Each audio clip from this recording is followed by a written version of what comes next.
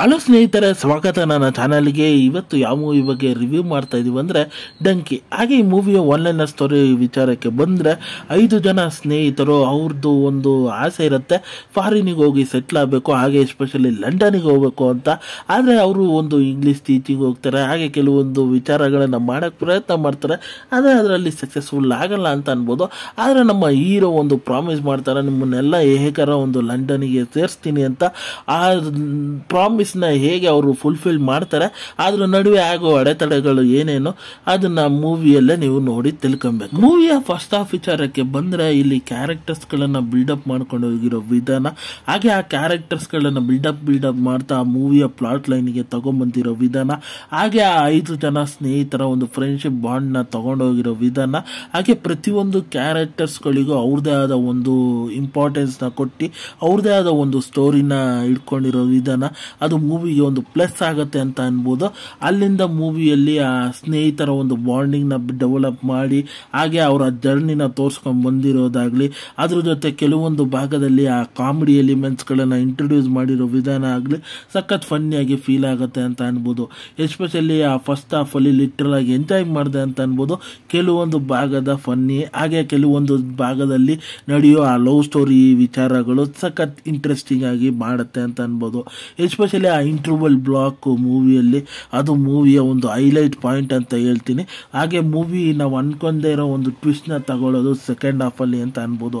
Second ಹಾಫಲ್ಲಿ ನಿಮಗೆ reality Dunki ಅಂದರೆ ಏನು? ಅಲ್ಲಿ ಹೇಗೆ ಅವರು ಅಡೆತಗಳು ಉಂಟಾಗತ್ತೆ? ಹಾಗೆ ಇನ್ನೊಂದು ದೇಶಕ್ಕೆ ಹೋದರೆ ಏನು ಕಷ್ಟ ಇರುತ್ತೆ ಅನ್ನೋದನ್ನು ಎಷ್ಟು ಸಿಕ್ಕಾಬಿಟ್ಟೆ ರಿಯಲಿಟಿಕ್ಕಾಗಿ ಅದನ್ನು ರಿವೀಲ್ ಮಾಡಿರೋ ವಿಧಾನ.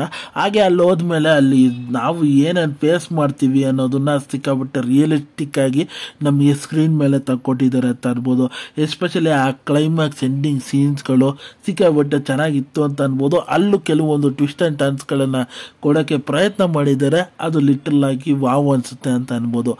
ಹಾಗೆ ಮೂವಿಯಲ್ಲಿ ಆ ಲಾಸ್ಟು ರಿಯಾಲಿಟಿ ಫೋಟೋಗಳನ್ನೆಲ್ಲ ತೋರಿಸ್ತಾರಲ್ಲ ಗುರು, ಅದು ಇನ್ನೂ ಬೇರೆ ಲೆವೆಲ್ ಆಗಿ ಅನಿಸುತ್ತೆ, ಹಾಗೆ ಫೀಲು ಮಾಡಿಸುತ್ತೆ ಅಂತ ಅನ್ಬೋದು. ಹಾಗೆ ಮೂವಿಯಲ್ಲಿ ನನಗೆ ಸಾಂಗ್ಸ್ಗಳು ಸಿಕ್ಕಾಬಟ್ಟೆ ಚೆನ್ನಾಗಿ ಅನಿಸ್ತು ಅಂತ ಅನ್ಬೋದು. ಹಾಗೆ ಬ್ಯಾಕ್ಗ್ರೌಂಡ್ ಮ್ಯೂಸಿಕ್ಗಳನ್ನು ಕೊಟ್ಟಿರೋ ವಿಧಾನ ಚೆನ್ನಾಗಿತ್ತು ಅಂತ ಅನ್ಬೋದು. ಹಾಗೆ ಪಾತ್ರದ ವಿಚಾರಕ್ಕೆ ಬಂದರೆ ಆ್ಯಸ್ ಯೂಶ್ವಲ್ ನಮ್ಮ ಶಾರುಖ್ ಖಾನ್ ಸರ್ ಅವರು ಡಿಫ್ರೆಂಟಾಗಿ ಮಾಡಿದ್ದಾರೆ ಅಂತ ಅನ್ಬೋದು. ಹಾಗೆ ಅವರ ಒಂದು ಎರಡು ಶೇಡ್ಸ್ಗಳಲ್ಲಿ ಬರ್ತಾರೆ. ಆ ವಯಸ್ಸಾಗಿರೋ ಶೇಡ್ಸ್ಗಳಲ್ಲೂ ಚೆನ್ನಾಗಿತ್ತು ಅಂತ ಅನ್ಬೋದು. ಹಾಗೆ ಮಿಕ್ಕಿದ್ದು ಹೀರೋಯಿನ್ನ ಪಾತ್ರನೂ ಚೆನ್ನಾಗಿತ್ತು ಅಂತ ಅನ್ಬೋದು. ಹಾಗೆ ಸಪೋರ್ಟಿಂಗ್ ಸ್ನೇಹಿತರ ರೋಲ್ಸ್ಗಳು ಸಿಕ್ಕಾಪಟ್ಟೆ ಚೆನ್ನಾಗಿ ಮಾಡಿದ್ದಾರೆ ಅಂತ ಅನಿಸ್ತು ನನಗೆ. ಹಾಗೆ ಮೂವಿಯಲ್ಲಿ ಇನ್ನೊಂದು ಮೇನ್ ಹೈಲೈಟ್ ಕ್ಯಾರೆಕ್ಟರ್ ಅಂದರೆ ವಿಕ್ಕಿ ಕೌಶಲ್ ಅವರು. ಅವರ ಪಾತ್ರ ಮಾತ್ರ ಲಿಟ್ರಲ್ ಆಗಿ ಅವ್ರು ಬರೋ ಫಸ್ಟ್ ಹಾಫಲ್ಲಿ ಧೂಳೆ ಬಿಡಿಸಿದ್ದಾರೆ ಅಂತ ಅನ್ಬೋದು. ಹಾಗೆ ಆ ಟೀಚರ್ನ ಪಾತ್ರನೂ ಅಷ್ಟೇ ಬ್ಯೂಟಿಫುಲ್ ಆಗಿತ್ತು ಅಂತಲೂ ಅನ್ಬೋದು.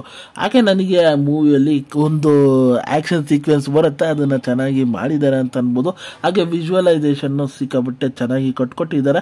ಕೆಲವೊಂದು ಭಾಗದಲ್ಲಿ ಗೊತ್ತಾಗುತ್ತೆ ಇದು ರಿ ಎಫೆಕ್ಟ್ಸ್ ಅಂತ. ಅದು ಇನ್ನೊಂಚೂರು ಬೆಟರ್ ಆಗಿ ಮಾಡ್ಬೋದಾಗಿತ್ತು ಅಂತಲೂ ಅನಿಸ್ತು ನನಗೆ. ಹಾಗೆ ಇದರಲ್ಲಿ ನನಗೆ ಡೈಲಾಗ್ಸ್ಗಳು ಸಿಕ್ಕಾಬಿಟ್ಟೆ ಚೆನ್ನಾಗಿ ಬರ್ಕೊಂಡಿದ್ದಾರೆ ಅಂತ ಅನಿಸ್ತು. ಅದು ಇಂಪ್ಯಾಕ್ಟ್ಫುಲ್ ಆಗು ಇತ್ತು ಆ ಡೈಲಾಗ್ಸ್ಗಳು ಅಂತ ಅನ್ಬೋದು ಹಾಗೆ ಮೂವಿ ಓವರ್ ಆಗಿ ನನಗಂತೂ ಇಷ್ಟ ಆಯಿತು. ಹಾಗೆ ಮೂವಿ ಈ ಮೂವಿಗೆ ನನ್ನ ರೇಟಿಂಗ್ ವಿಚಾರಕ್ಕೆ ಬಂದರೆ ನಾನು ಫೈವ್ಗೆ ತ್ರೀ ಪಾಯಿಂಟ್ ಫೈವ್ ಸ್ಟಾರ್ ಕೊಡ್ತೀನಿ ಅಂತ ಅನ್ಬೋದು. ಹಾಗೆ ಮೂವಿ ಖಂಡಿತ ಒಂದು ಫ್ಯಾಮಿಲಿ ಫ್ರೆಂಡ್ಲಿ ಮೂವಿನೇ ಖಂಡಿತ ಮರಿದ ಹೋಗಿ ನೋಡಿ ಅಂತ ಹೇಳ್ತೀನಿ. ಒಂದು ಒಳ್ಳೆ ಎಕ್ಸ್ಪೀರಿಯನ್ಸ್ ಸಿಗುತ್ತೆ. ಆಮೇಲೆ ನಮಗೆ ಗೊತ್ತಿಲ್ಲದೆ ಇರೋ ವಿಚಾರ ಬಗ್ಗೆನೂ ಇದು ತಿಳಿಸ್ಕೊಡತ್ತೆ ಅಂತ ಹೇಳ್ತೀನಿ. ಹಾಗೆ ಇದು ಒಂದು ಒಳ್ಳೆ ಮೆಸೇಜು ಇರೋವಂಥ ಮೂವಿ ಹಾಗೆ ಈ ವಿಡಿಯೋ ಇಷ್ಟ ಆಯಿತು ಅಂದರೆ ಈ ವಿಡಿಯೋಗೊಂದು ಲೈಕ್ ಮಾಡಿ, ಹಾಗೆ ಚಾನಲ್ನ ಸಬ್ಸ್ಕ್ರೈಬ್ ಮಾಡಿ, ಮತ್ತು ಬೆಲ್ ನೋಟಿಫಿಕೇಶನ್ ಆನ್ ಮಾಡಿ. ನಿಮ್ಮ ಅನಿಸಿಕೆ, ಅಭಿಪ್ರಾಯ ಏನಿದ್ರು ಕಮೆಂಟ್ ಮೂಲಕ ತಿಳಿಸ್ಬೋದು. ಈ ವಿಡಿಯೋ ಇಷ್ಟ ಆಯಿತು ಅಂದರೆ ಎಲ್ಲರಿಗೂ ಶೇರ್ ಮಾಡಿ. ಮತ್ತೆ ಮುಂದಿನ ರಿವ್ಯೂಯಲ್ಲಿ ಸಿಗ್ತೇನೆ.